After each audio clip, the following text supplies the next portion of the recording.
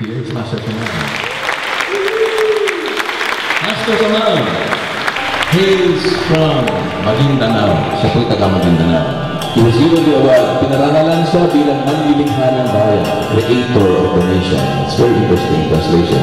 When he was 13 years old, natuto siyang tumugtog ng kuchapi. That's the instrument. Kuchapi, two-string flute, both flute.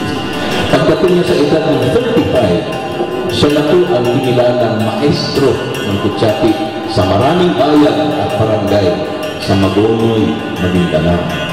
Bilang guro ng Kuchapi, he's a teacher ng Kuchapi, marami na siya natuturuan na ngayon ay kilala na rin mga artista ng bayan. Ang ating malaruhin na nasanay na sanay din sa kulintang, agong, gandingan, kalundag at tambol, iba-ibang instrumento. Kung hindi siya tumutugtog, ay nagtuturo siya sa pagtugtog ng mga instrumento. Mga kaibigan, Master, sama ang Sulaiman.